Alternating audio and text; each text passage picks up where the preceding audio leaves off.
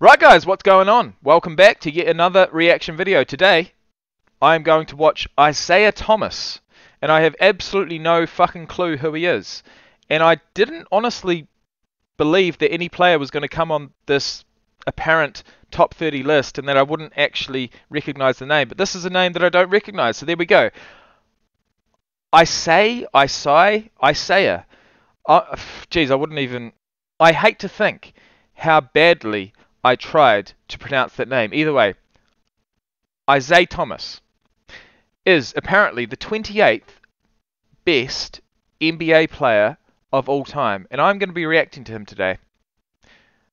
But not for long, hopefully. Zeke's legacy, Zeke, um, have no idea what that's about. Zeke's legacy has been somewhat tarnished over the years by the opinions of his peers and the off off the court issues he brought on himself while in the Knicks front office. However, there's no denying what he did on the court as a leader on two of the most hated championship teams in NBA history. The bad boys wreaked havoc on the NBA's holy trinity of Magic Johnson, Larry Bird, and Michael Jordan, and most of the damage that was done was on the orders of the six foot one point god. Not point guard, point god.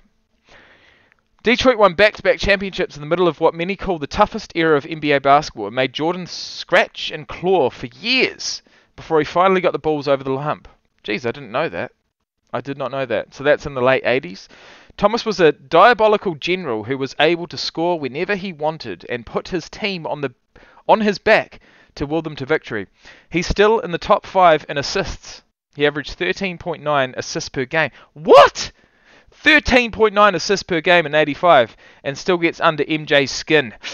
Zeke, still not completely sure why he's called Zeke. Uh, not being on the Dream Team is the biggest snub ever, and the Dream Team is the 1992 Olympic Dream Team. Is that right?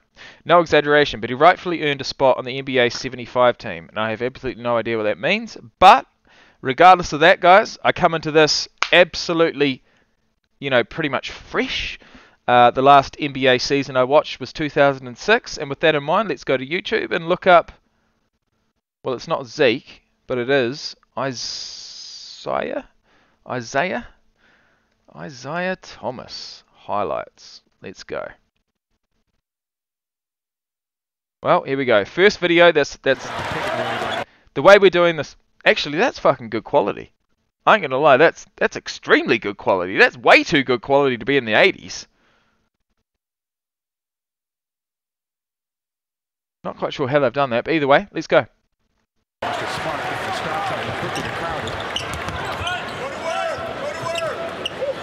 Actually, you know what? I'm really sorry, guys. I am really, really, really, really, really sorry, guys. I've just absolutely done him dirty here. Um, it's not Isaiah Thomas. It's Is, Is, I, Isiah Thomas.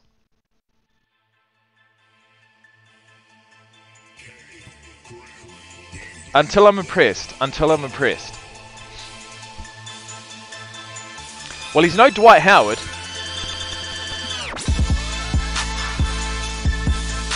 Don't mind a bit of huss huss. Oh yeah, a bit of an alley-oop. No, what do we got? Bang! Come on, bang! No, no. Oh, yeah, a bit of a fadeaway, fadeaway jumper, but um, okay. So he's all about the alley oops. He's six foot one. Let's be fair. Is that against Shaq? Is that Shaquille O'Neal? If I knew that, you know, if I knew. Um,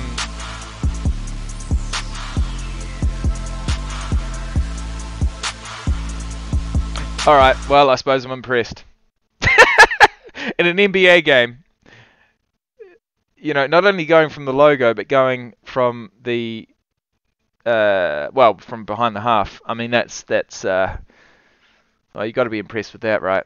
Was I impressed? Nah, let's watch some more. Ooh. Drains it. Nah, I tell you what, I'm impressed. Thanks, guys, and I'll see you in the next one.